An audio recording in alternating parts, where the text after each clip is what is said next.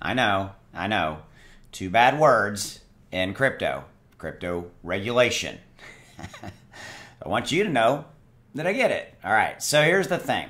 Saw this come across Watcher.guru. Got to give them credit because this is uh, something that I've been looking at for a day or so now, trying to get some more information around.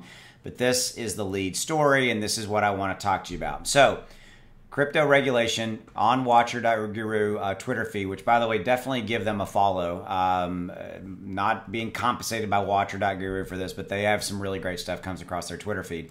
Uh, U.S. Senator Cynthia Lummis says the crypto regulation bill will most likely not be considered until next year. Now, I want to state up front, we pretty much knew this. Here's where we're at with regulation as it relates to the United States. Okay, so the White House formed a task force that's basically empowered all of the respective or possible respective governmental organizations, the SEC, the IRS, etc., to go out and do their part of investigating around crypto, and then they're going to come back to the White House and present their piece of the puzzle and say, "Hey, this is what we think we ought to do." The SEC is going to say this, the IRS is going to say this, you know, and then and then and then there's going to be from there this process of to begin to put together a regulation bill for the United States. If you unpack what I just said, that's a lot of moving parts.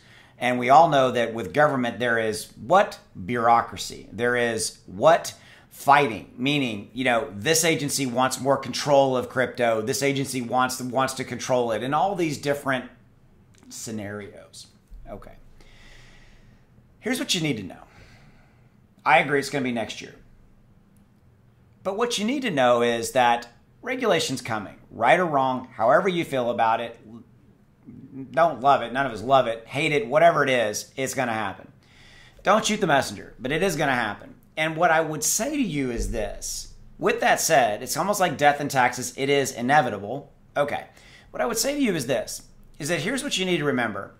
Once you kind of accept that it's going to happen, okay, and as long as the regulation is not too laborious, too stringent, too, uh, you know, whatever, just too much, then, and that's a question, I admit, we don't know.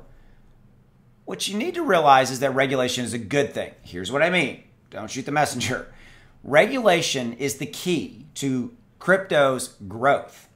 When we get regulation, when it's in place, that will effectively, air quotes coming, legitimize crypto. Now, I already think crypto is legitimate, all that kind of stuff, but it will legitimize it for the 95 plus percent of the people in the United States, and frankly, probably a lot of them across the globe.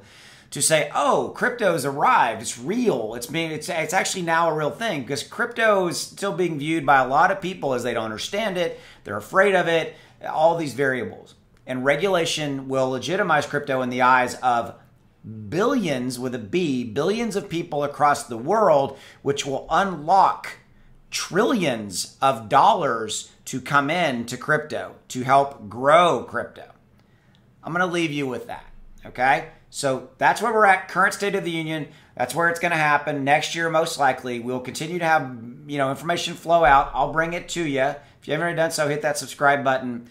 Hopefully, you got some value out of this. Have a good day. Go make some money. I'll see you.